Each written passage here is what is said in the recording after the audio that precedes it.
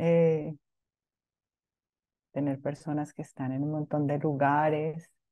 Estoy viendo, tenemos desde Tegucigalpa, Honduras, desde, bueno, Leisa, que está en un municipio de Nariño, desde Villa María Caldas, desde Bogotá, desde Guayaquil, Ecuador, eh, desde Valladares, desde Honduras, desde Ciudad de México, desde el Huila, ahí está Alejandro con su café huilense, desde, desde Venezuela, muy bien, me encanta. Vamos a, pues como a ir saludando, a contarles un poco lo que vamos a ir haciendo. Eh, desde Nicaragua, desde Honduras, La Vega La Vega Cauca, ay, La Vega. Muy bien, Pastor Benavides.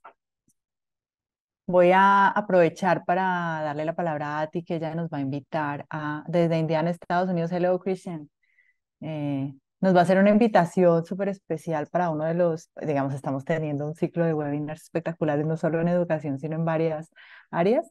Y voy a aprovechar y le voy a pedir a ti que les haga la invitación porque ella es la que tiene como la, la imagen, la, la invitación y todo. Gracias, Diana. Muy formal. Buenas tardes para todas y todos. Eh, bueno, básicamente les cuento, este ciclo de webinars pues es presentado por la unidad de posgrados de la Universidad ICESI.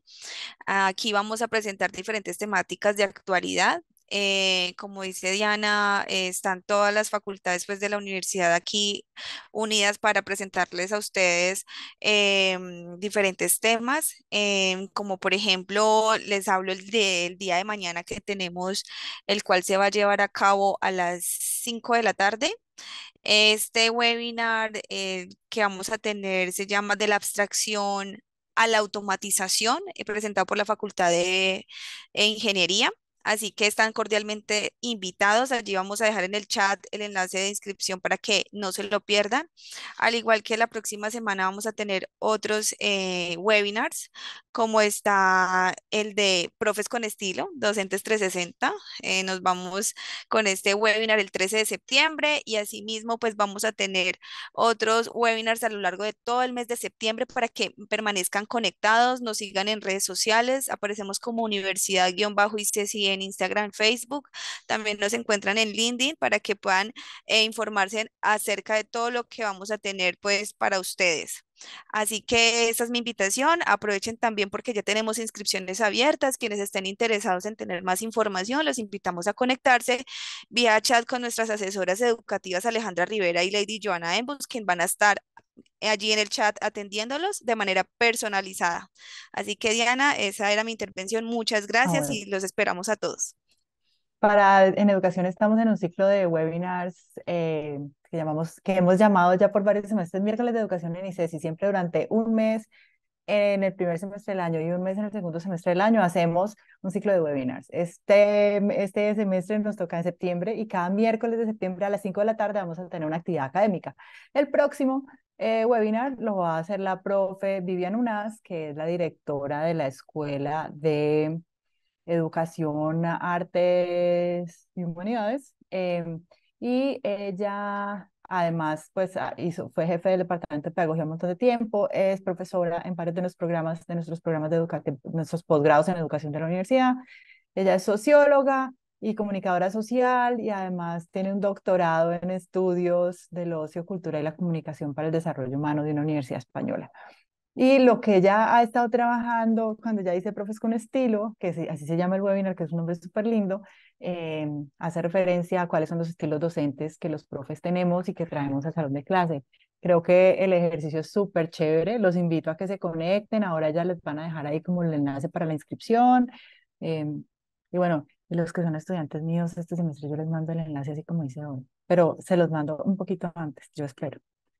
Em, voy a aprovechar, no sé si Carlos Andrés ya está allí, son las 5 y 8, bueno, no, esperemos un par de minuticos antes de, de ponernos acá, ya que tenemos gente de Bucaramanga, desde Pereira, eh,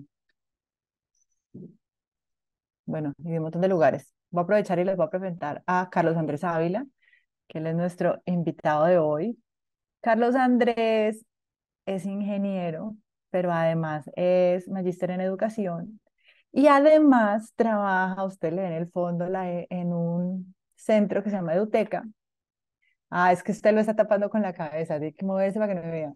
Eduteca tiene un em, portal para profes que tiene recursos para todos los profes, todas las edades, todas las áreas, todas las disciplinas, recursos gratuitos, em, eh, gratuitos y de gran utilidad. Y tienen además algo que yo espero que él les cuente ahora más tarde, y es que tienen algo que se llama ahora Eduteca Lab. Y el Eduteca Lab es la inteligencia artificial para que los profes le saquemos el mayor provecho, que no sean solo los estudiantes los que nos entregan la tarea, profe, que le entrego mi tarea súper divina, bien hecha, sino para que los, para que los profes eh, le saquemos provecho también.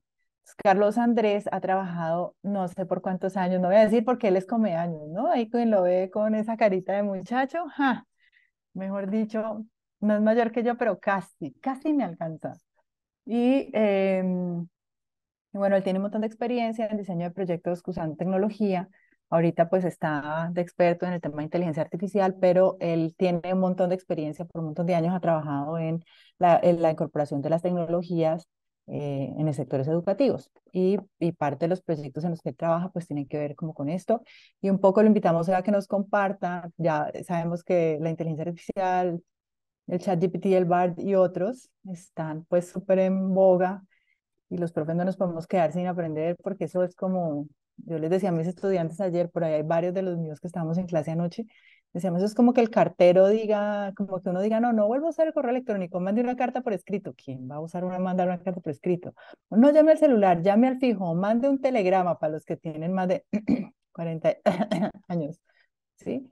Ya eso no hay retorno, no hay retorno y ya de aquí en adelante la inteligencia artificial vino, se va a quedar, es como decir, no saque el celular, no use el computador, escriba a mano, escriba a máquina, eso ya no se va a poder hacer.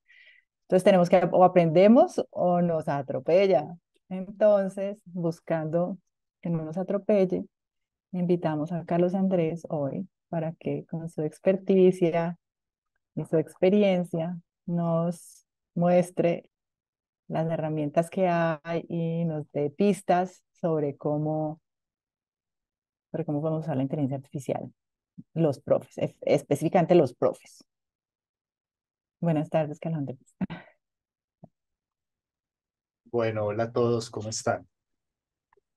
Bueno, entonces, gracias Diana por, por esa presentación tan, tan especial que haces. Pues llevo en el Centro de Biblioteca en la Universidad ICESI alrededor de ya son siete años en la Universidad ICESI, más otros cinco años, seis años trabajando con Eduteca, o sea que en total son más o menos 12, 13 años que llevo con, con este portal, que es parte de la Universidad ICESI, que ofrece recursos gratuitos para toda la comunidad hispanoparlante educativa que quiera utilizar sus recursos, entre ellas una nueva que tenemos hace un par de meses que se llama Eduteca Lab, que es asistida por inteligencia artificial. Ahorita vamos a hablar un poco de esto, pero entonces esta presentación vamos a hablar desde el inicio, qué es la inteligencia artificial y vamos a ir poco a poco avanzando en algunas herramientas porque pues el tiempo es limitado, pero vamos a tratar de abordar lo que más podamos. Bueno, les queremos contar que vamos a grabar la sesión porque luego se edita y entonces cuando la gente nos pida venir, dame los recursos, dame la, eh, tenemos el video, la grabación del video. A todos los que se inscribieron por el PIWA, eh, después el equipo eh, que está detrás de bambalinas les manda, les manda los enlaces para que puedan ver la presentación ya editada. Entonces, ¿qué vamos a hacer? Vamos a tener primero a Carlos Andrés, a Andrés, a él le gusta el Carlos, a Andrés explicándonos, eh, y después hacemos un espacio para preguntas para preguntas, inquietudes. Yo esperaría que si todos están en computadores, a lo mejor parte de lo que él va mostrando nos dé ahí tiempito para que nosotros cliquemos también y cacharriemos, porque ustedes ya saben que si uno no cacharrea, luego se le olvida y no aprende. Entonces, Andrew, somos todo oídos, ojos, eh, atención. Vale, Diana. Bueno, muchas gracias para todos. Voy a compartir mi pantalla. Vamos a tratar en, en 40, 45 minutos máximos abordar lo que más podamos y al final damos eh, oportunidad un par de preguntas y como dice Diana, pues van a tener la oportunidad de ver después la grabación por si quieren recuperar alguno de los materiales que vamos a ver el día de hoy. No sé si ahí ya ven mi pantalla todos. Sí, ya la estamos viendo. Bueno, entonces, muchas gracias a todos por estar aquí. Este webinar se llama Inteligencia Artificial con educación, en Educación y lo que vamos a abordar el día de hoy es explorar qué es la inteligencia artificial, cómo puede ser utilizada en educación especialmente. Vamos a hablar inicialmente de ChatGPT, que es la herramienta más conocida, la que más tenemos a la mano, pero también vamos a conocer otras herramientas que también funcionan con inteligencia artificial y todas gratuitas. Es importante decir eso. Vamos a trabajar con herramientas gratuitas. Entonces, la primera pregunta que nos viene es, ¿qué es la inteligencia artificial? Porque todos hablan de inteligencia artificial por aquí, por allá, pero ¿qué es? Entonces, la inteligencia artificial son sistemas informáticos de manejo de información capaces de realizar tareas inteligentes o o tareas muy similares a lo que normalmente requiere hacer un humano. Resumen, eh, análisis, eh, sintaxis, eh, síntesis, perdón, una serie de actividades que normalmente hacemos nosotros. Ahorita vamos a hacer un par de ejercicios al respecto. ¿Cuál es el objetivo de la inteligencia artificial? Es automatizar esos procesos que normalmente nosotros podemos hacer para que de esa manera tener mayor eficiencia, precisión y rapidez en lo que hacemos y sobre todo para que nos permita tomar decisión rápida. ¿Dónde se está aplicando? En la medicina, en la finanza, el transporte, la educación, realmente en todas las áreas posibles de trabajo y por supuesto eso incluye lo que es la educación. Ahora, ¿cómo es la interacción con esa inteligencia artificial? Esa interacción es con algo que se llama lenguaje natural o NLP por sus siglas en inglés. Lenguaje natural quiere decir que yo puedo comunicarme con esos sistemas asistidos por inteligencia artificial de una manera como le escribo yo a un humano, con lenguaje natural, como cuando chateamos con un amigo, como cuando chateamos con un conocido, como cuando escribimos un correo electrónico solicitando algo. Por eso se llama lenguaje natural. A diferencia de los sistemas tradicionales que son, por ejemplo, eh, algoritmos, donde vienen en lenguajes de programación como C++, Java, Vienen diferentes tipos de lenguajes donde hay que conocer toda una sintaxis y una metodología de escritura que permite que solo unos pocos puedan hacer programas. La inteligencia artificial permite que con solamente saber escribir y hacerlo medianamente normal como lo podemos hacer en un chat, podamos dar parámetros a, a, un sistema asistido por inteligencia artificial y obtener resultados. Entonces, eso a grosso modo de la inteligencia artificial. Entonces viene aquí algo que, muchos dicen, bueno, yo he usado la inteligencia artificial para consultar información. ¿Y esto en qué se diferencia con los buscadores tradicionales como Google, como, los, eh, como Bing, que es el buscador de, de Microsoft, etcétera? La diferencia radica en que los buscadores tienen un sistema donde tú escribes unas palabras, por ejemplo, ¿qué es un perro? ¿Qué es tal concepto? Y él lo que hace es que con esas palabras él va y busca toda una base de datos de páginas de internet donde aparecen palabras similares, busca coincidencias y te trae esas páginas que hablan o tienen coincidencias con ese texto que hemos escrito en el navegador. Entonces, los buscadores tradicionales como Google busca es coincidencias de información de las palabras que tú has escrito y te muestra un listado de páginas de internet donde está la información o palabras relacionadas a lo que tú escribes. Quiere decir que busca información ya creada o hechas por otros. La inteligencia artificial no funciona así. La inteligencia artificial lo que hace es que con esos parámetros, esos textos que tú escribes, él de alguna manera, entre comillas, los entiende y con base en eso él va y busca información y genera información nueva. Yo creo que esta es la diferencia principal con los buscadores de Internet.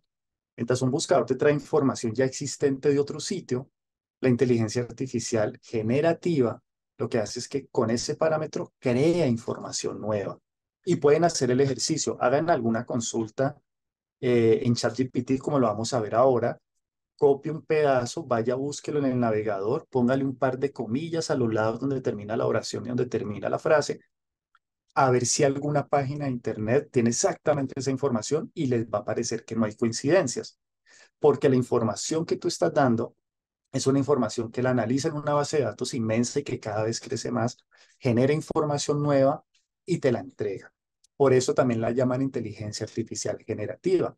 Claro, eso trae unos retos en educación bastante importantes, porque entonces anteriormente con, con plataformas especializadas para buscar si lo que hace el estudiante ya lo ha copiado de Internet, podíamos hacerlo. Por ejemplo, Turnitin, que es una herramienta muy conocida y hay otras gratuitas. Yo puedo tomar un texto, buscar coincidencias y decir, venga, usted me está copiando, usted no está referenciando bien. Pero con la inteligencia artificial no, porque simplemente te trae información nueva. Sin embargo, la inteligencia artificial tiene una sintaxis, una escritura muy bien estructurada que si el docente conoce bien a sus estudiantes podría tener algunas pistas. Entonces, inicialmente, esta es la principal diferencia. Buscador trae información ya existente, sobre todo de Internet, y la inteligencia artificial crea información nueva. Por ejemplo, eh, herramientas como ChatGPT, aunque hay otras, está desconectada de Internet. Quiere decir que cuando tú le mandas un parámetro para que él te dé alguna respuesta, él internamente no está, no está conectada a ninguna página de Internet. Aquí ya empiezan a haber diferencias. Entonces, ¿qué es ChatGPT? Que es la más conocida, la que va a la vanguardia, la que entró primero y la que cada vez avanza más en esa, en esa metodología de procesos de información para generar información nueva.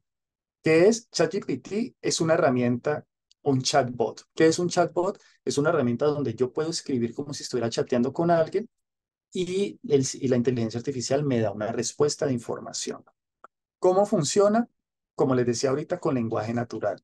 Simplemente con escribir de manera normal, como si estuviéramos escribiendo un amigo, un conocido, un compañero de trabajo, eh, la, inteligencia artificial interpreta la información y con base en eso que escribimos en ese chatbot, por medio de un lenguaje natural, esa estructura de información que, le hace, que permite preguntarle algo a la inteligencia artificial es conocido como prompt. Es una palabra que está muy de moda, cada vez se generaliza más, y es un prompt. Un prompt es, es esa estructura que tú escribes para comunicarte con la inteligencia artificial, esos parámetros que le das para que ella te genere una información. Y los prompts, resulta que eso ha traído unos desafíos nuevos en educación, y algo que a mí me llama mucho la atención es lo siguiente. Hace muchos años, hace 10 años para acá nos venimos quejando que el uso de las redes sociales y el chat de alguna manera han afectado la escritura de los estudiantes, con abreviaturas, con modismos, con palabras un poco extrañas. Con los prompts, de alguna manera, eso incita a que los estudiantes y las personas que lo consultan escriban bien, porque ya hay que estructurar una oración, hay que escribir una palabra, una frase, una sentencia con un lenguaje natural, pero bien escrito porque entre mejor escriba y mejor organizado y esos parámetros mejor estén indicados, la inteligencia artificial me da mejores respuestas. Entonces, de alguna manera, aunque esto facilita trabajos como la consulta, también permite que los estudiantes sepan hacer preguntas, sepan hacer consultas, sepan escribir frases, sepan saber cómo hacer realmente una sentencia para obtener una buena respuesta. Ahora, los prompts, aunque el lenguaje natural los puede escribir, realmente ese ha sido el reto. Y yo creo que aquí es donde empieza a ser un aporte importante en educación, porque es aprender a sintetizar ideas, aprender a hacer preguntas, aprender a, a poder guiar de manera objetiva un sistema para poder obtener la respuesta que yo quiero. O sea que no es tan solo escribir y obtener una respuesta, porque la inteligencia artificial también se equivoca ellos te dan una información generalmente válida, pero no muchas veces exacta o, ambigua y descontextualizada. Eso obliga a que el que usa la inteligencia artificial tenga que hacer un trabajo adicional de análisis de información, de pensamiento crítico y reflexión para poder tomar esa información y optimizarla o saberla utilizar para después poder hacer algo con esa información. Dentro de los parámetros cómo se debe hacer un, prompt, que recuerden, un prompt es lo que yo escribo, esa sentencia para comunicarme con la inteligencia artificial. Normalmente eh, hay unos parámetros que han estado creando para poder sacar esa información de la mejor manera. Por ejemplo, aquí esta hoja de trucos que tenemos dice que lo primero que debemos hacer es darle un rol a la inteligencia artificial. Es decirle, tú eres un periodista, tú eres un contador, tú eres un profesor de inglés, tú eres un matemático. Darle un contexto para que la inteligencia artificial se ponga bajo ese rol. Después le digo, ¿qué quiero? ¿Qué quiero? Si eres docente de inglés, ¿qué quiero de ti? Después le pongo las condiciones, cómo quiero esa información que tú me vas a dar y en qué formato lo quiero. Esto es un parámetro general que se, que, que, que se puede dar. Esto es creado por un profesor, por ejemplo, de matemáticas, que él dice, yo utilizo estas sentencias, esta estructura y me funciona bastante bien. Pero realmente la inteligencia artificial cada vez está más afinada y casi que ya entiende, sin importar el orden, cada vez entiende mejor. Pero entre mejor haga un prompt, mejor va a ser la respuesta y ahorita vamos a ver unos ejemplos. Ahora, en educación, ¿esto qué permite? Porque inicialmente uno puede pensar, el estudiante va a copiar y pegar, pero si sabemos hacer eh, actividades de aprendizaje donde no nos quedamos solamente en actividades donde el estudiante conoce un concepto y lo trae, sino que conozca el concepto, pero ¿qué lo pongo a hacer con eso que, que consultas? ya el, se vuelve un aprendizaje activo. No importa si lo consultó en un, en un buscador de Internet, no importa si lo hizo por medio de la inteligencia artificial, no importa, consúltelo, entiéndalo, pero yo como docente, ¿qué propongo para que él, con eso que está aprendiendo, haga un algo? Yo puedo escribir, por ejemplo, cómo hacer, no sé, eh, si fuera un, un, estudiante de química, cómo hacer una mezcla para hacer, no sé, un, eh, un límpido percloruro y él me puede dar toda la información, pero si yo no lo sé hacer en la vida práctica, esa, información no me sirve de nada. Entonces ahí el llamado al, al docente cómo eso que el estudiante puede consultar, analizar, reflexionar, sintetizar y organizar, cómo lo puedo llevar a una acción para que él aplique lo aprendido. Entonces aquí hay un primer reto para la educación, es plantear actividades de aprendizaje diferentes a las tradicionales, donde nos quedábamos simplemente con qué es tal cosa, haga una síntesis, haga un resumen. No, ya esto nos invita a irnos más allá, un aprendizaje activo. Entonces aparece la personalización, porque la, la inteligencia artificial permite que el contenido sea adaptado a, las necesidades individuales de cada estudiante, porque él le responde según la capacidad del estudiante de poder hacer buenas preguntas. Tiene un feedback instantáneo. Quiere decir que de lunes a domingo 24/7 tú puedes consultar información y puedes tener un asistente ahí. Permite el aprendizaje autónomo, porque si yo sé utilizar bien estas herramientas, él me puede dar nuevas ideas para yo ir creando y aprendiendo por medio del uso y la información que él me pueda dar. Y genera eh, ideas creativas. Esto es muy importante, porque a veces así sepamos hacer las cosas muy bien, nos quedamos siempre bajo los mismos parámetros, las mismas ideas de construir algo, pero la inteligencia artificial saca ideas. Yo le puedo decir, hágame una poesía, haga una canción, invente un cuento, y él saca las ideas y realmente las inventa. Entonces también me puede dar opciones de, de ideas que a mí no se me hubieran ocurrido, pero que con mi saber previo, yo puedo utilizar eso para sacarle mayor provecho. Bueno, esto que vemos aquí es un ejemplo de un prompt. Quiere decir de sentencias. Pues, son tres ejemplos muy sencillos para eh, mirar cómo se puede redactar. Hay alguien que está rayando la pantalla, porfa. Creo que se llama Kevin, la persona que está rayando la pantalla. Por favor. Bien. Por ejemplo, el primer, el primer prompt de rúbricas. Yo le puedo decir a la inteligencia artificial que me haga una rúbrica. ¿Cuánto tiempo nos quita el hacer una rúbrica? Y más si es analítica, donde tiene varios niveles de gradación. ¿Cuánto nos quita eh, de tiempo, eh, por ejemplo, saber qué aspectos evaluar, bajo qué criterios hacer todo ese trabajo descriptivo? Yo, por ejemplo, puedo decirle a, la inteligencia artificial, eres un docente de biología. Ya le digo un contexto, eres un docente de biología. Creo que están rayando nuevamente la pantalla. Eres un docente de biología y le digo, crea una rúbrica, pero ahí viene la condición, una rúbrica analítica, porque hay diferentes tipos de rúbrica. Están las holísticas, están las de puntos, están las checklist, hay varias. No, yo quiero la condición es que sea la analítica. Y, va, y que el formato sea en una tabla, porque si yo no le digo que sea en una tabla, él me muestra un listado. Ah, para evaluar qué? Estudiantes de quinto grado de primaria sobre las partes y funciones de la célula. Miren cómo yo tengo que tener claro qué quiero, debo saber estructurar una idea si yo quiero que el resultado se dé la mejor manera posible. O por ejemplo, para hacer actividades. Yo le digo, eres docente de informática. Ah, pero no cualquier docente de informática, un experto en diseño curricular. Crea una estructura de un curso, pero no, no de cualquier manera, dividido en unidades para aprender a programar, pero para aprender a programar no cualquier cosa, sino en Java. ¿Y desde dónde? Desde cero, quiere decir para principiantes. Miren cómo entre más específico, más claro sea, de la misma manera va a ser el mejor resultado que voy a obtener de la inteligencia artificial.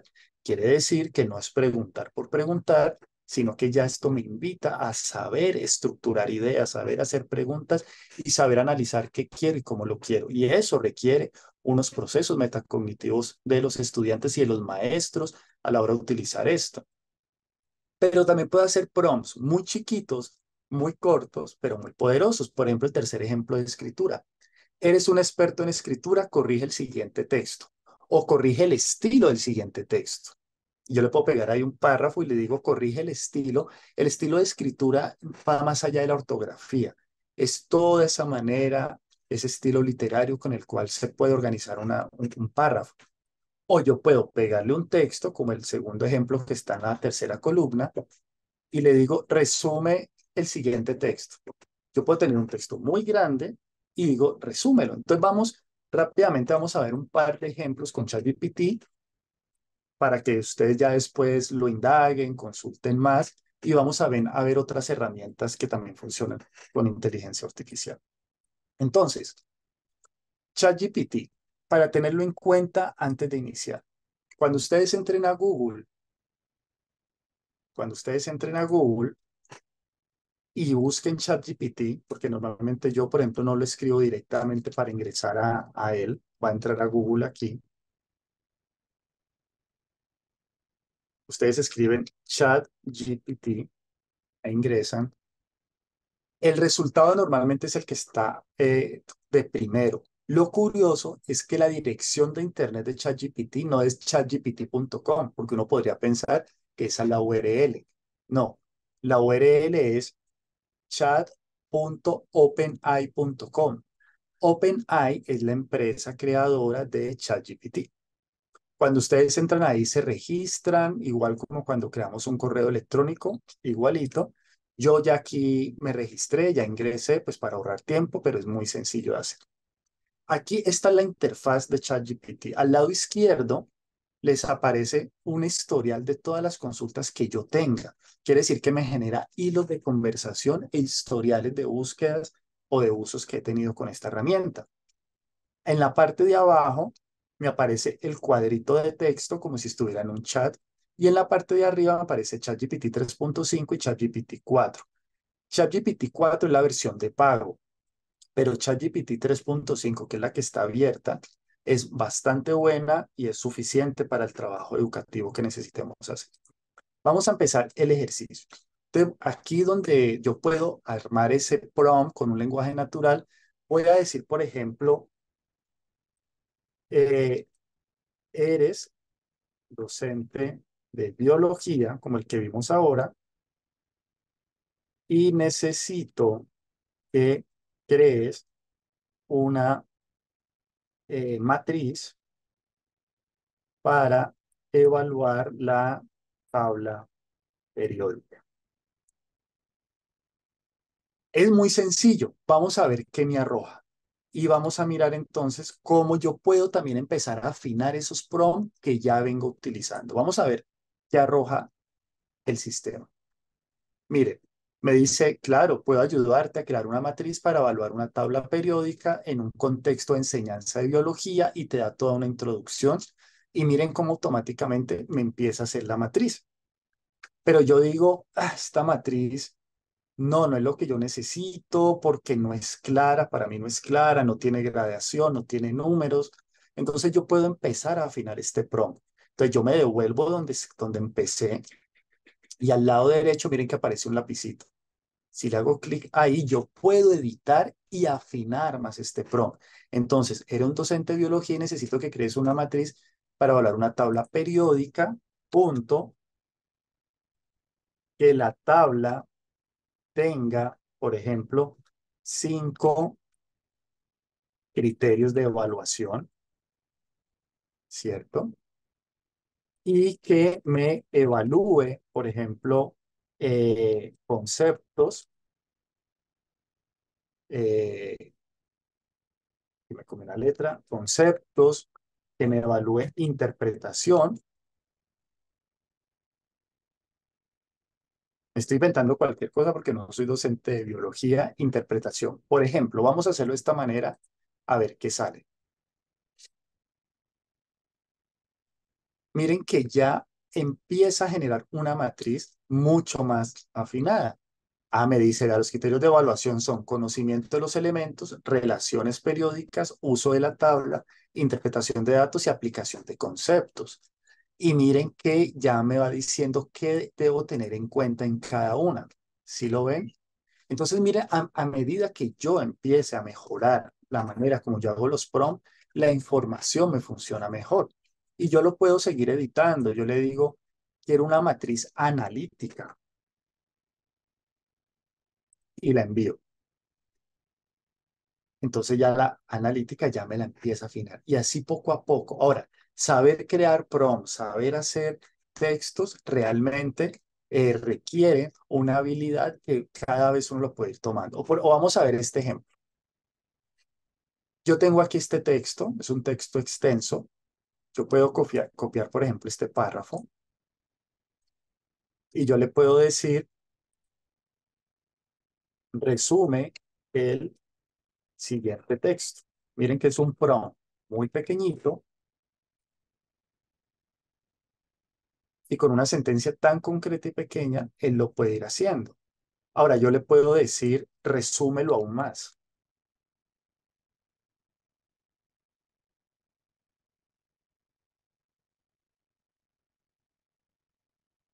Y miren que lo puede hacer un resumen.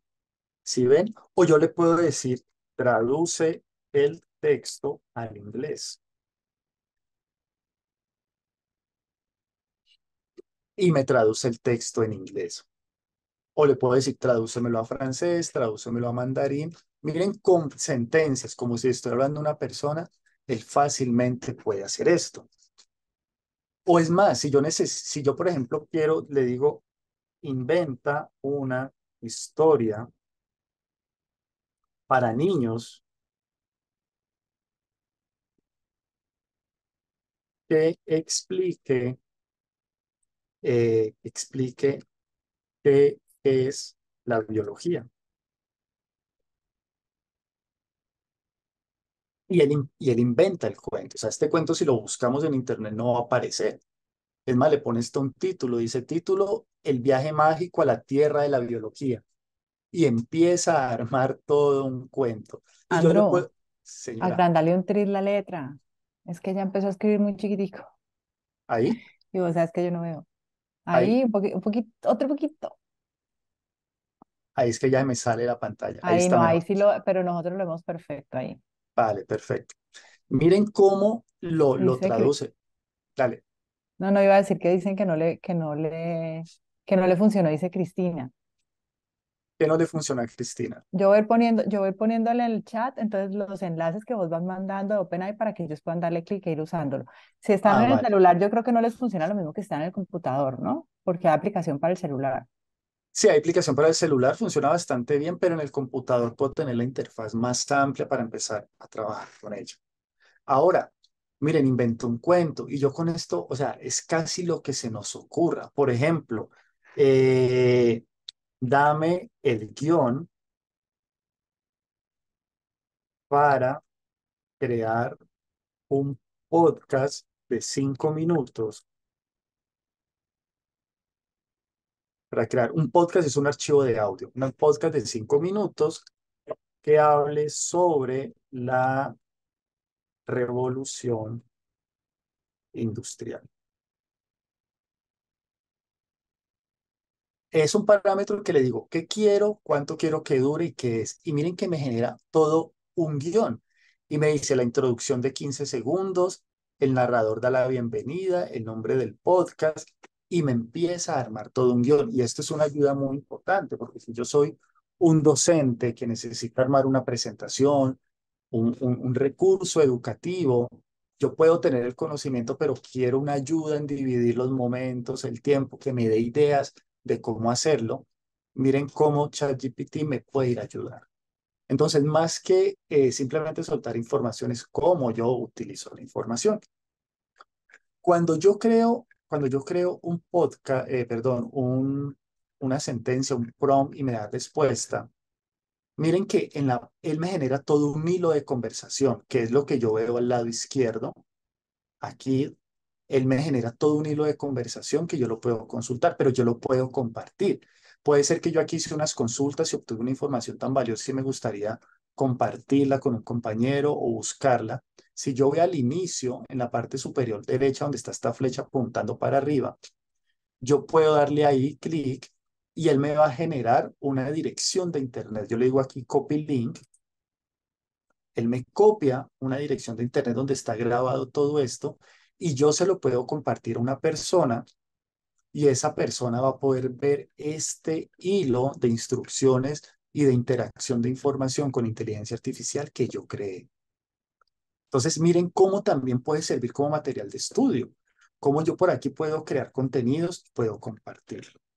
Aquí podríamos quedarnos toda una tarde y días hablando de ChatGPT y viendo diferentes ejemplos y, sofisticando mucho más los prompts, pero lo importante es que vean aquí como un lenguaje natural y ya casi es el tener claro que cómo quiero las cosas me permite tener un asistente y una ayuda que me pueda ahorrar tiempo en buscar información, sintetizarla, pero también si no hay un experto atrás que entienda y tenga un pensamiento más amplio de esto, realmente no le vas a sacar un buen provecho.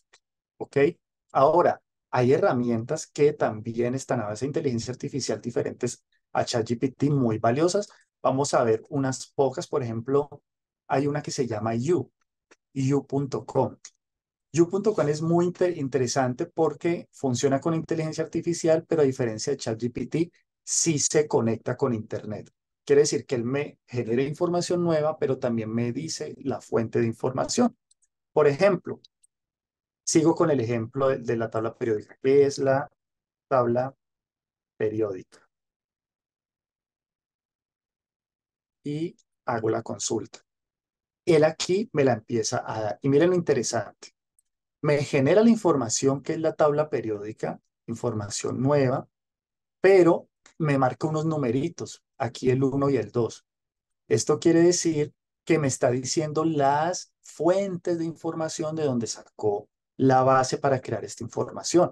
Esto es muy valioso, porque no es solo crear información nueva, sino también saber de dónde la, la obtuve. Y miren la columna derecha.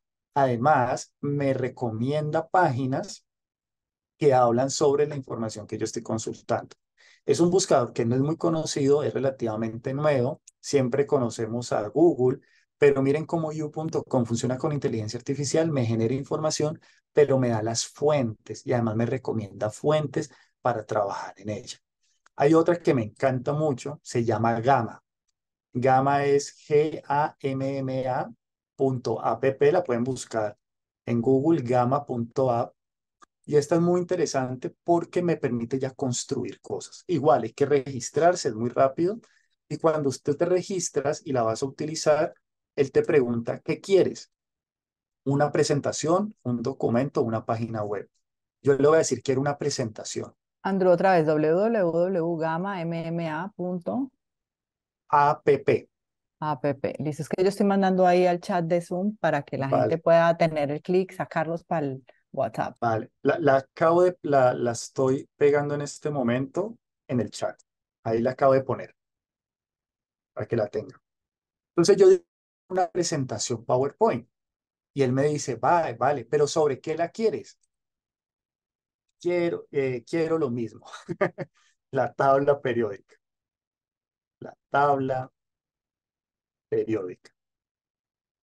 Yo tengo hasta 100 palabras para dar una sentencia más, más clara. O, por ejemplo, una presentación que explique qué es la tabla periódica Entonces yo le digo, yo le mando la sentencia y él me dice, "E- excelente, suena interesante, y él me propone como unos, un- una unidad o un orden de contenidos para generar la presentación.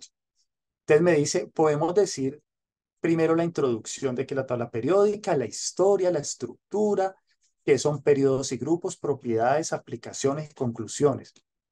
Y yo digo, sí, me interesa, pero mm, no quiero hablar, o más bien, bueno, lo voy a dejar igual, pero yo puedo cambiar el orden. Yo puedo subir un tema, bajar otro, pero él aquí me está diciendo el orden de la presentación. Asumamos que me gusta y está bien y le digo continuar. Entonces él me dice en qué formato quiere la presentación. Y él me da al lado derecho varios juegos de colores para manejarlo. Yo le digo, quiero esta azulita porque es como azul con blanco, la veo mejor. Y le digo continuar. Y miren, esta, esta, esta es impresionante esta presentación. Mire lo que está haciendo. Yo tengo mis manos acá quietas. Mire lo que él está haciendo. Me empieza a armar una presentación. Miren. Resumiendo eso que él me dijo de lo que podía hablar de la tabla periódica, me la organiza con un diseño bastante bueno, me, me, me, pone las imágenes relacionadas al tema y me empieza a crear la presentación. Esto es muy poderoso porque a veces nosotros manejamos bien el tema, lo sabemos bien, pero armar una presentación, el diseño, el estilo, el juego de colores, eso quita bastante tiempo. En cambio, esta aplicación ya me da una, primero me, me organiza la información, me la sintetiza y me la organiza. Y miren lo interesante que es. Y la creó. Vamos a ver cómo quedó. Me voy desde arriba.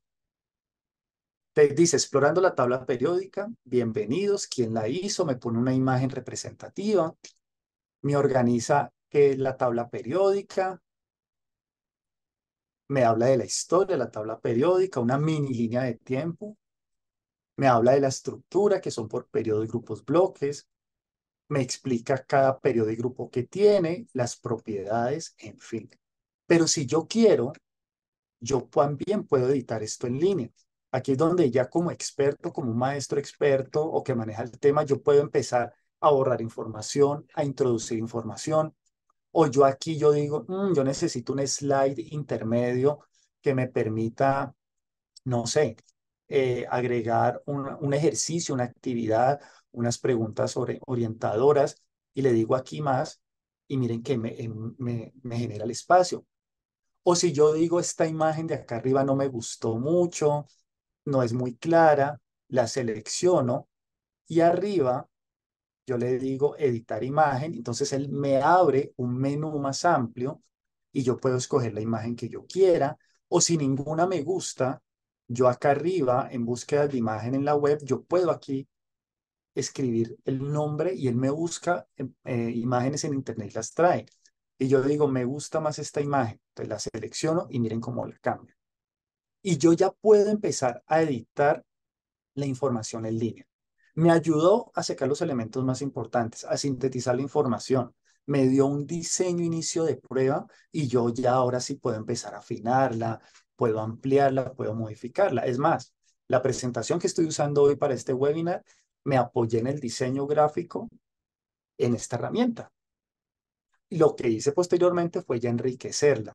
Empecé a jugar con lo que yo sé, con las imágenes, con el estilo personal, información que la inteligencia artificial me dio mal, la, la corregí, la actualicé o la quité.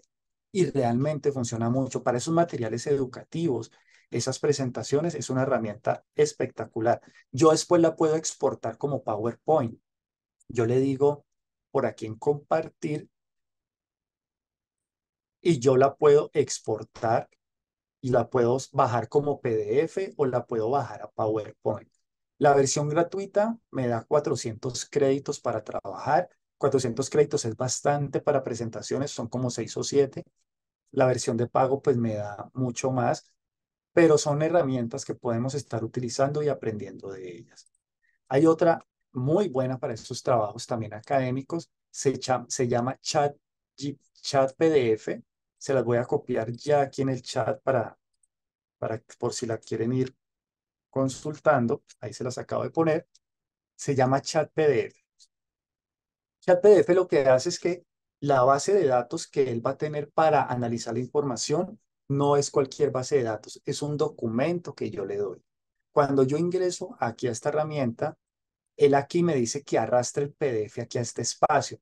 Entonces yo lo que hago es que yo minimizo la ventana, con clic sostenido selecciono un, archivo PDF y lo arrastro y lo pongo aquí. Cuando lo hago, él inmediatamente empieza a procesar en pocos segundos la información.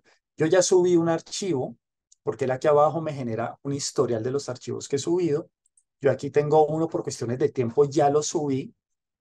Y yo subí un archivo que se llama Claves para reducir las brechas educativas. Es un documento bastante bueno, es hecho por la Fundación Telefónica y me gustó, pero es un documento extenso. Y de pronto en este momento no tengo tiempo para leerlo o necesito una síntesis muy general para saber si es un documento de estudio válido que necesito. Miren, es un documento de 75 páginas. Cuando yo subí el documento, esta herramienta inmediatamente, es más, me genera unas preguntas de ayuda. Él me dice, por ejemplo, aquí usted puede preguntarle cómo puede la innovación ayudar a reducir las brechas educativas. La inteligencia artificial analizó el texto, analizó el contenido y él sabe qué preguntas serían importantes de hacer. Vamos a hacerle esta pregunta. Recuerden, la respuesta va a ser solamente con base en la información que hay en este archivo. No se va a ir a buscar información en Internet, solamente la que hay en este archivo. Miren, le lancé la pregunta, él busca la información en este y solamente en este PDF y miren, me dio una respuesta. Entonces, según él, y me dice que en la página 4 encontró esta información, la innovación puede ayudar a reducir la brecha seductiva. Eh, o, por ejemplo, yo le puedo decir, resume el PDF en un párrafo. Y él me está haciendo un resumen general del documento. Entonces, esto me puede servir a mí como material de estudio para saber el documento cómo está, para, qué. Me dice, vea, las claves para reducir las brechas educativas aborda la importancia de la innovación en la educación para reducir desigualdades sociales. Toda la información la sacó, la analizó y me respondió según este documento que yo subí. Es un muy buen apoyo, sobre todo cuando queremos analizar documentos antes de profundizar en ellos. ¿Listo?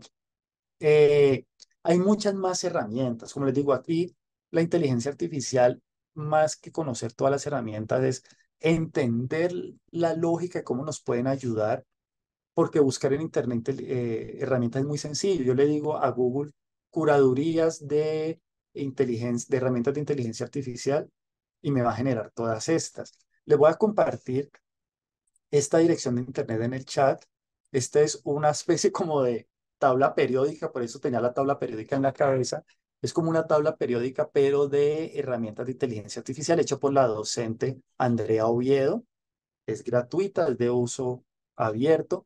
Y miren, si yo me paro en cada una de estas herramientas, me da una breve descripción qué es y me da el enlace para abrirlas. Todas son herramientas con base en inteligencia artificial. Les voy a pegar aquí en este momento en el chat la dirección de esta infografía que les hace ya una curaduría importante de herramientas con inteligencia artificial. Y por último, como ejemplo de estas herramientas, por supuesto, la que Diana les comentaba ahorita, que es Eduteca Lab. Eduteca Lab es de uso gratuito, es de la Universidad ICESI, es creada por el Centro Eduteca, aquí les voy a compartir la dirección, y es un, un sitio que permite eh, eh, tener a la mano hasta el momento cuatro herramientas, digo hasta el momento porque va a seguir creciendo, que me permite básicamente hacer lo siguiente, con idea me permite hacer proyectos de aprendizaje y me hace unas cuantas preguntas y yo las respondo y me genera un proyecto. O Rubric me permite crear rúbricas. Planeo me permite crear cursos y Mítica me permite hacer un autodiagnóstico por medio de 25 preguntas para saber cómo está el uso de las TIC o la incorporación de las TIC en una institución educativa. Vamos a usar una rúbrica. Entonces simplemente ingreso. Eh, cuando uno entra por primera vez en la parte superior aparece ingresar el único requisito es tener un archivo de Gmail para poder ingresar. Quiero crear una rúbrica, ingreso aquí a Rubric y él me dice, crea tu rúbrica. Y esto tiene una ventaja enorme. Es que me permite dar unos parámetros, un prompt bastante afinado, bien hecho, que me garantiza que lo que yo voy a obtener está, eh, es una rúbrica como yo la necesito y que no me va a empezar a, a, soltar lo que me pasó a mí ahorita, información que de pronto no necesito, que no está bien afinada. Y además la herramienta me permite almacenar lo que yo hago y compartirlo o ver lo que han hecho otros. Él me dice, ¿eres de educación superior o secundaria? Como soy secundaria, no digo que soy de educación superior. Seleccione el área académica. Bueno, soy de soy docente de matemáticas. ¿De qué asignatura? De álgebra. ¿La rúbrica es para estudiantes de qué edad? Bueno, para estudiantes de 9 a 10 años o de 11 a 12 años. ¿Qué tipo de rúbrica quieres? Porque normalmente conocemos la analítica, pero está la holística, la verificación, la escalar, la de observación, en fin. Si no entiendo cuáles son esas rúbricas, le hago clic doy clic en este botón moradito y él me da una explicación general de qué es cada rúbrica. Voy a escoger la analítica. ¿De cuántos niveles de gradación? Voy a escoger cinco. Y él me dice, ¿qué tema? Y yo le voy a decir números fraccionarios. Si yo quiero, puedo poner un objetivo de aprendizaje es el objetivo de aprendizaje, si lo pongo en la rúbrica, la va a restringir al objetivo. Pero no, no tengo objetivo de aprendizaje, lo voy a dejar así y le digo crear rúbrica. Él ahí se tarda más o menos un minuto, minuto y medio para empezar, empezar a hacer la rúbrica y ya se las muestro. Mientras pase ese minuto y medio, bueno, fue mucho más rápido que creía, mire. Aquí me generó la rúbrica. Me dice, vea, la siguiente rúbrica está diseñada para evaluar conocimientos y comprensión de números fraccionarios, etc. Me generó una matriz, una rúbrica con cinco niveles porque fue lo que yo escogí. Excelente, sobresaliente, bueno, aceptable y bajo. Y miren, esto, esto realmente lo que demanda tiempo y lo complejo, más allá si uno maneja el tema o no, es hacer todo esto que está acá. Lo voy a agrandar un poquito por si hay algún docente por aquí de matemáticas y quiere analizar lo que arrojó. Ah, pensé por si había algún cieguito. No.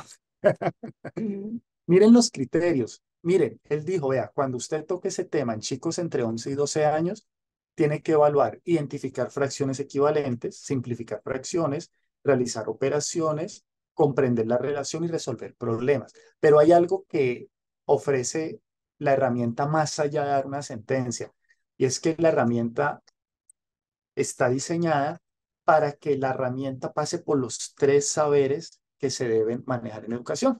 Saber conocer, saber hacer y saber ser. Por ejemplo, el saber conocer, identificar fracciones, eso es un saber conocer. Pero simplificar fracciones y realizar operaciones, eso ya es un saber hacer. Comprender es, es, es también, yo creo que es también un saber hacer, que es un, un ejercicio analítico, saber resolver problemas con fracciones. Me dice quién lo hizo la, eh, la asignatura, pero miren lo interesante.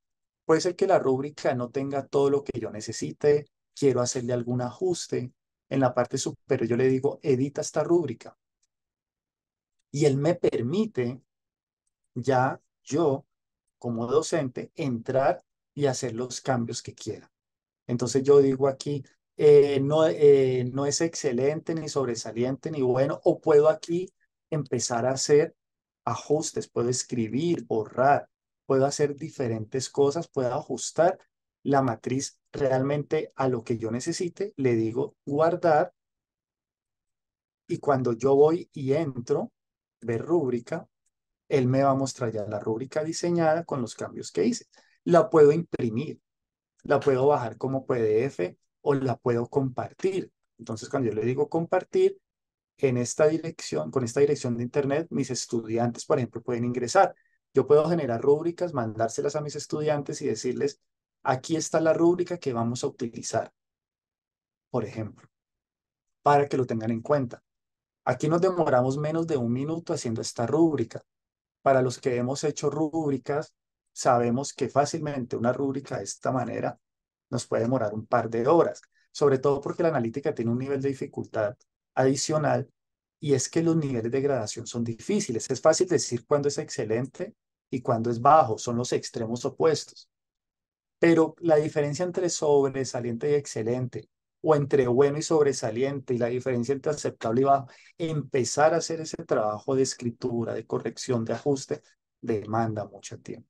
Si yo me meto a descubrir, recuerden que estamos en la opción rúbricas, puedo ver las rúbricas que han generado otros docentes. Por ejemplo, rúbrica de lista de verificación para el tema de áreas en geometría. Este lo hizo el docente Mario Mendoza hace cuatro minutos. Si yo ingreso, miren, aquí el docente hizo una rúbrica, pero que es de lista de verificación, o sea que él me da unos criterios y yo puedo decir sí o no el, el estudiante los cumple. Si yo me devuelvo a Eduteca Lab, pues voy a encontrar, voy a encontrar, por ejemplo, idea. Yo le digo, crea un proyecto, crea, miren que es la misma lógica, es una interfaz muy sencilla, es un proyecto de clase, quiero uno de educación artística, que sea de apreciación artística, la metodología, lo quieres por aprendizaje basado en proyectos, en casos, en retos, en problemas, ¿cómo lo quieres? Quiero aprendizaje basado en casos. ¿Cuántas fases tiene el proyecto? Es un proyecto de tres fases y es para estudiantes de 9, 10 y 11, 12 años. ¿Qué tema? No sé. Teoría del color. Si yo quiero, puedo dar aquí más información adicional. Recuerden, entre mayor parámetro yo dé, mejor es el resultado. ¿Qué temas? No sé, no sé qué temas dar, estoy bloqueado, no sé qué enseñar, no sé qué actividad hacer. Simplemente teoría del color. Le digo a la inteligencia artificial, créame un proyecto de clases de cinco fases donde me plantees actividades, objetivos de aprendizaje, una matriz de valoración y de esa manera ya a mí como docente me ayudas por lo menos a tener una guía por donde empezar o tener una base para empezar a crear nuevas posibilidades. Mientras me crea el proyecto, les voy a explicar otra herramienta que tengo aquí en este momento para que ustedes la vean. Si al lado izquierdo, abajo de mi pantalla, ustedes ven que cuando yo hablo, hay como un indicador verde que sube y baja, ¿cierto? que tiene una K. Esta es una herramienta que se llama CRISP. K-R-I-S-P, CRISP. Es una herramienta con inteligencia artificial que me permite aislar los sonidos de fondo. Yo aquí en este momento me encuentro en la oficina. Al lado tengo compañeros, de pronto a veces pasan personas hablando, la señora del café, en fin. Esta herramienta lo que hace es que detecta cuál es mi voz y e inmediatamente sabe que lo que no sea mi voz, la quita. Esta herramienta, la versión gratuita, te permite que al día tengas una hora de conferencias con esta, con esta tecnología. La versión de pago, pues te permite que la tengas todo el tiempo. Yo la conocí, la utilicé mucho en la época de pandemia, cuando todos nos fuimos a casa. El perrito de la casa a veces ladraba, a veces timbraban la puerta, sucedían cosas. Entonces yo lo que hice fue que instalé esta aplicación y realmente funciona muy bien. Aquí ahorita se han dado sonidos, ustedes no los han notado. Yo, por ejemplo, aquí estoy chasqueando mis dedos y casi no se percibe. Si yo la apago, noten, la pueden percibir. Si yo la prendo, ya no la escuchan. Escuchan solo mi voz. Es realmente, y funciona con la inteligencia artificial y funciona bastante bien, sobre todo para esos ambientes ruidos. Miren que ya está el proyecto creado. Yo le digo, aquí lo que me dice es que yo la puedo editar, en fin, la cierro. Y miren, me creó todo un proyecto. Me da una introducción. Me plantea objetivos. Miren, conocimiento básico de los colores primarios, comprensión básica de cómo se mezclan los colores primarios. Me dice cuáles son los requisitos para, para, para este proyecto. Eh, me dice la sesión 1 qué debe hacer el docente y el estudiante me dice en la sesión 2 qué deben hacer, me dice paso a paso por sesiones qué va a hacer, los recursos y hasta el final me plantea una matriz. Ahora yo digo, ah, este proyecto está como muy, muy escueto, muy sencillo. Yo le digo, edita este proyecto Y él me dice, ¿qué quieres editar? Y yo le digo, no, yo quiero que las actividades, me voy a la opción de actividades, me las refine. Me refine las actividades. ¿Qué quiere decir que las va a refinar? Que las va a mejorar. Y él ahí lo que empieza es que como ya tiene una base ya previa de una versión inicial, las actividades las vuelve aún más detalladas, las amplía, de pronto las modifica un poquito y me permite refinar, como, como aparece ahí, un proyecto donde me lo deja mucho más, eh, mucho más extenso y más detallado. Esto funciona mucho, lo hemos probado, por ejemplo, en instituciones educativas oficiales, donde los docentes tienen que plantear esos proyectos de aprendizaje que tienen que ver, que, que son de ley, pero a veces, ¿qué, ¿qué proyecto nuevo hago para que el estudiante indague algo diferente? Esta herramienta le puede servir. Aquí le digo guardar y vamos a ver qué pasó. Le digo ver proyecto y observen. Ya las actividades las pudo, las refine, ya las, miren, las actividades ya están mucho más detalladas, me plantea más actividades en cada momento. ¿Se acuerdan que ahorita eran unas muy cortas? Miren cómo ya me da actividades con un, con un mayor nivel de detalle. Si yo entro en la evaluación, le digo cree la evaluación y me la va a hacer nuevamente. Si me meto a descubrir, miren todos los proyectos que han hecho. Hay más de 9.000, no, casi 10.000 proyectos de los docentes que han usado. Es una herramienta eh, bastante nueva. Por ejemplo, si yo me meto a ética y valores, hay 500 proyectos. Por ejemplo, aquí dice proyecto de clase El diálogo del banquete de Platón. Y yo también puedo conocer otros proyectos hechos por otras personas que están hechos, pues, por, están organizados por asignatura. Entonces, miren cómo la inteligencia artificial, si la pensamos bien en educación, nos va a traer realmente unas ventajas enormes, aunque, y con esto finalizo, también me da unas posibilidades de uso. Están las posibilidades de uso extremas, donde el estudiante o el docente utiliza la herramienta y copia todo igualito y lo presenta así. Está el otro extremo que es la independencia total. Estos niveles de uso lo hizo el profesor Edri Robles, es un investigador educativo mexicano. Él plantea, por ejemplo, dice, está la, el otro extremo que es ignorar que la inteligencia artificial existe y no usarla para nada. No, ni lo uno ni lo otro. Yo puedo utilizarla para inspiración y creación, para que me ideas nuevas, quitar ese problema de la pantalla en blanco y poder empezar a hacer algo. Puedo para generar borradores y retroalimentación, obtener feedback, yo le puedo preguntar, entregarme, corrige, me entrega. Puedo, por ejemplo, para hacer combinación edición, yo puedo decirle que me plantee cuestionarios, encuestas, o puedo para que el estudiante eh, tenga una información, le edite ligeramente, pero yo como docente debo plantear actividades donde yo pueda ver eso que él hizo, cómo lo aprendió y cómo lo va a aplicar. Recuerden, no quedarnos con que creer que el estudiante porque sintetiza un concepto, lo explica, es suficiente. Tenemos que ir al hacer. ¿Qué, lo, qué pongo a hacer? ¿Qué le propongo al estudiante con lo que él está conociendo en información? ¿Qué lo pongo a hacer para evidenciar que él aprende y también para que su aprendizaje se dé de mejor manera? Y también ¿Qué otros saberes puedo generar ahí?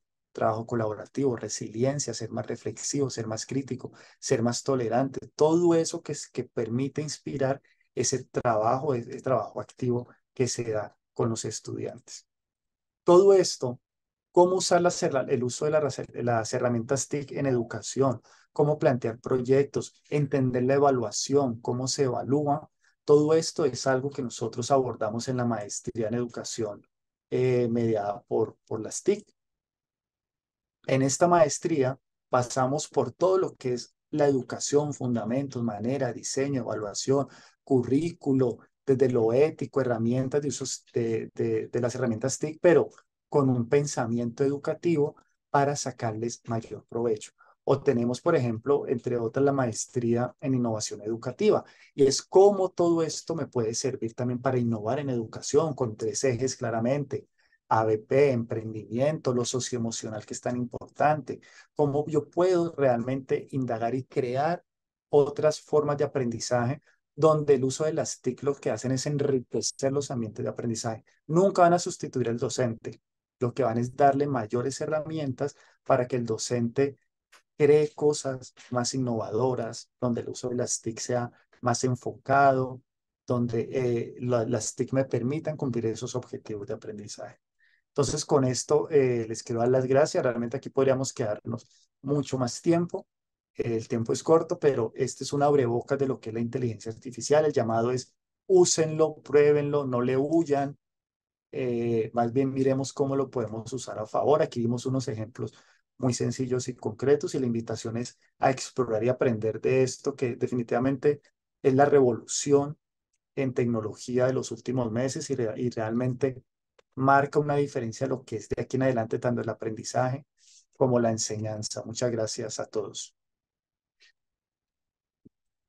Muy bien. Bueno, ahí nos están preguntando por, eh, pues por los enlaces de la grabación, ya lo tendrán los que se inscribieron por el PIWA, que fue el que mandamos hace días, ya tenían el, el, digamos, ahí ya nosotros tenemos sus correos. No sé si, muy brutal, dice Weimer. Sí, o sea, la cosa es espectacular. Hay que cacharrearle. Mm, ahí tenías varias preguntas en el chat, pero es que han pasado tantas y tan rápido que te digo que no he podido. Eh, sí, pero aquí dicen que compartir el video, claro que sí, los webinars. Ya, ahí preguntaron por la de, la de minimizar el ruido, la de los PDFs. Ah, bueno, la minimizar el ruido, venga, se la es, funciona muy bien, se llama no, Chris. Chris, no, ahí han estado mandando, además tenés auxiliares, ¿no? Hay dos personas que han estado ah, todo el tiempo como replicando y hay gente que ya tiene, se nota que hay unos que ya son expertos en uso de tecnologías. Esta de Chris es muy buena, realmente la, la, es una hora al día, realmente es lo que uno necesita en una reunión, funciona bastante bien. A mí me ha servido muchísimo, sobre todo en pandemia, fue de gran utilidad. Madre dicen por ahí. Ah, bueno, por ahí ya John lo había compartido. Eduteca Lab. Miren la, miren la infografía que les compartí hace un rato en el chat. Ahí la profesora hace realmente eh, hace una curaduría de, unas muy valiosas, pero también entren en internet y escriban curaduría herramientas de inteligencia artificial y van a encontrar muchísimas. Realmente de aquí en adelante prácticamente todo va a querer tener inteligencia artificial. El Canvas que ustedes utilizan para hacer presentaciones en línea ya tiene una opción para hacer presentaciones con inteligencia artificial, similar a lo que les mostré hace un rato con Gamma. Eh, dice, chat PDF tiene un límite de páginas que deja subir. La versión gratuita tiene un chat, tiene un límite creo que de 60 páginas. La versión de pago no, pero entonces aquí hay un truco. Si tú tienes un PDF de 120 páginas, a los PDF. Se mete exacto a, a los PDF, que es una herramienta que te permite coger un PDF y dividirlo en, en documentos más pequeños. Entonces lo puedes dividir en algo más pequeño y, lo puede, y puedes utilizar estas herramientas. Pues mira, aquí está, te permite unir PDFs o dividir PDFs tú entras y si son de 180, pues lo divides en tres PDFs y te permite, ayuda, te permite pues eh, esta opción de, de, subir varios archivos y empezar a preguntarle. A ver qué, qué otra pregunta hay por aquí. Aleja, están diciendo que, no sé que, el, que el formulario no se deja contestar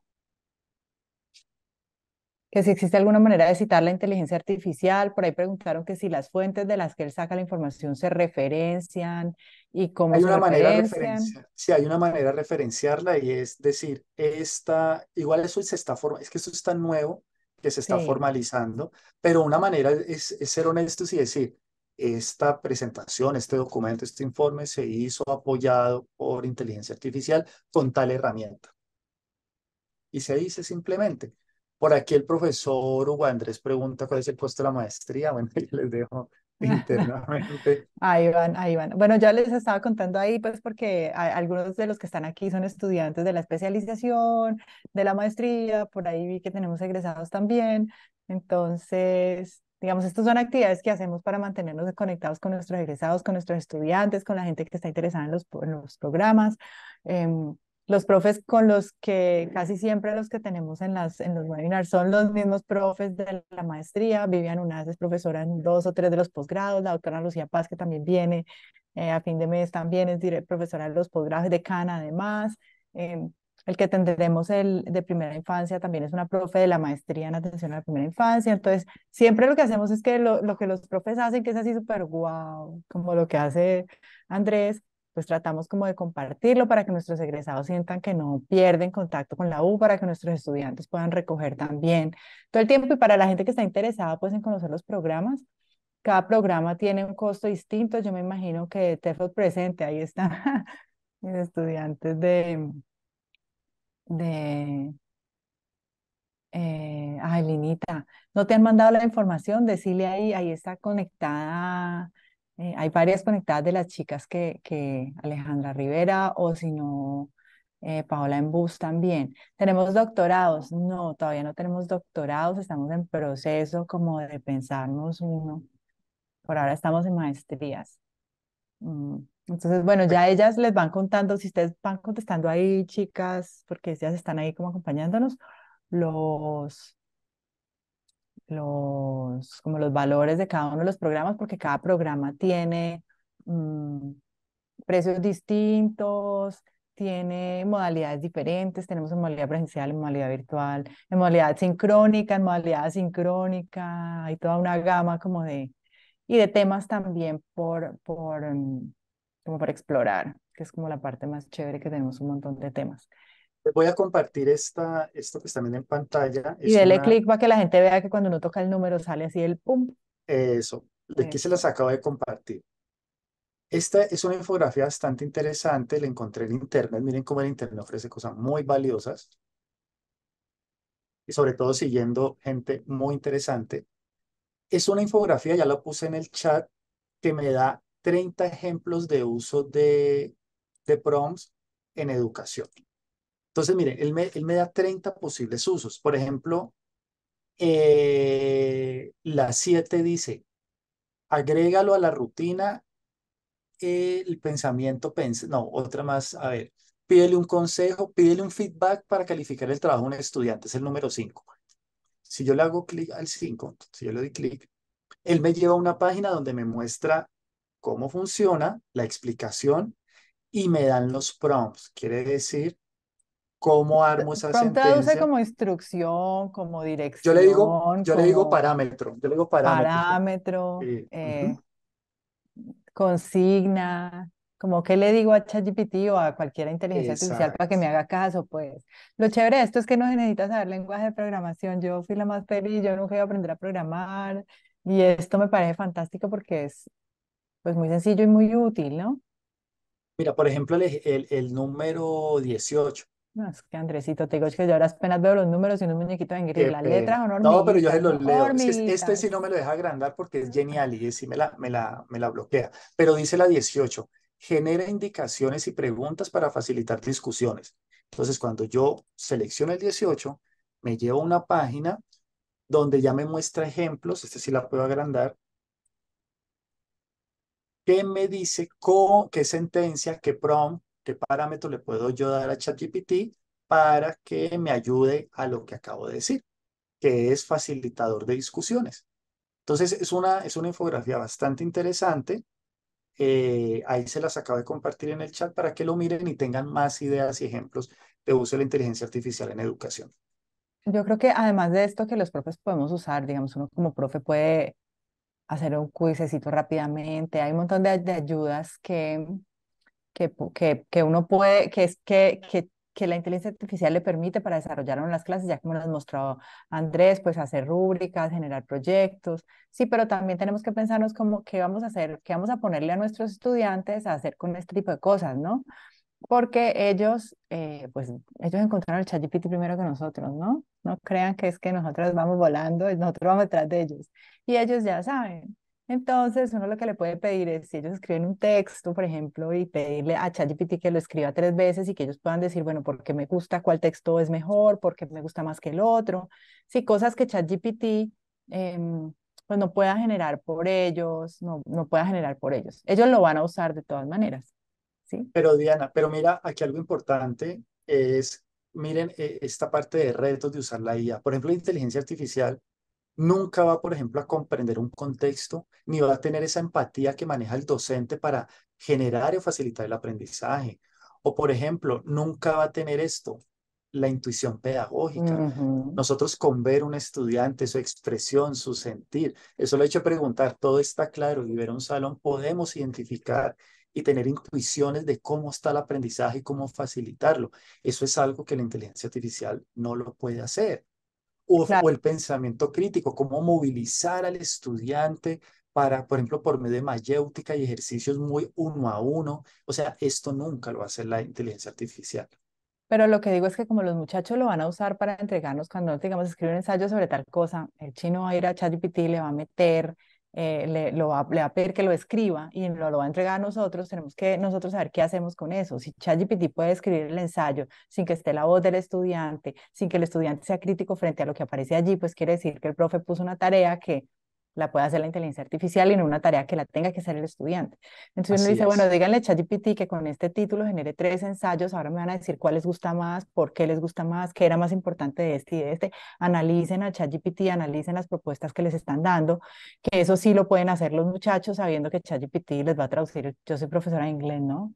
Mis estudiantes, incluidos los que están aquí, que ya estamos hablando por el chat de ChatGPT me va a ayudar a escribir mi tesis de maestría.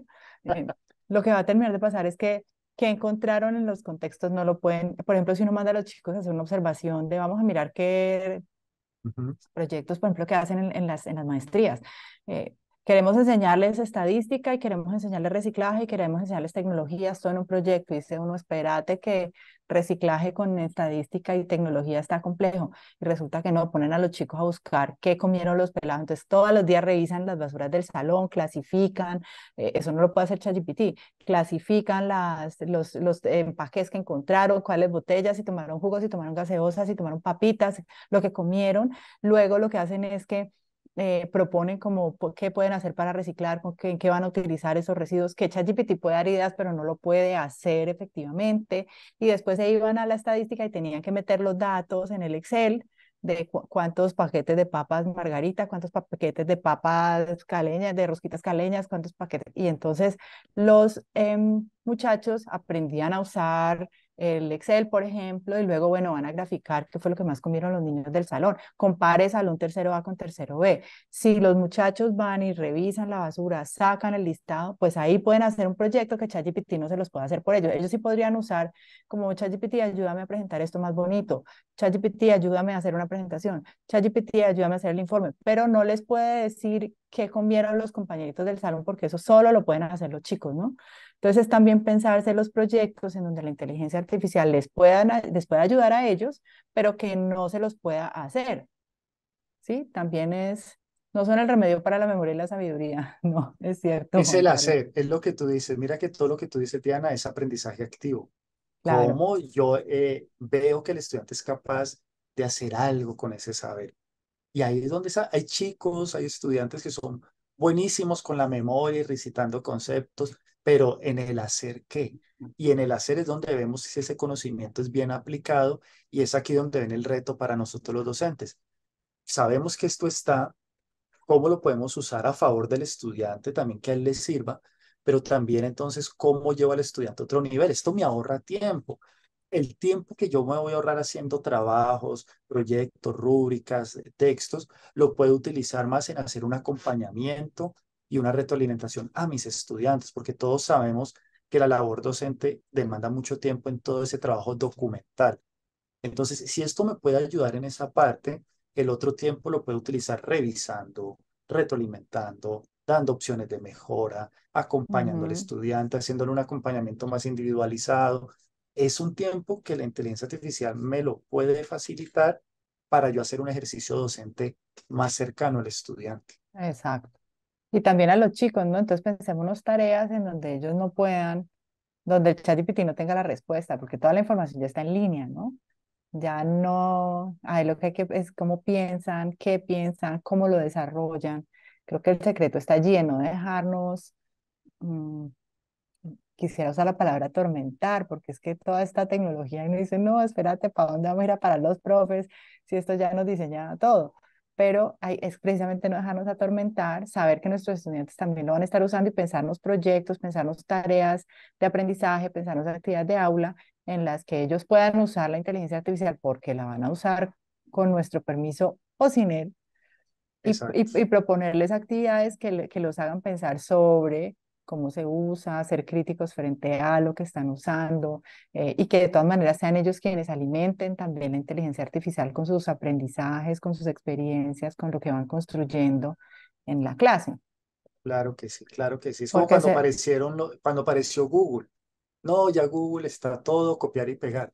Y ya eso dejó de ser un problema para los colegios. Llega la inteligencia artificial.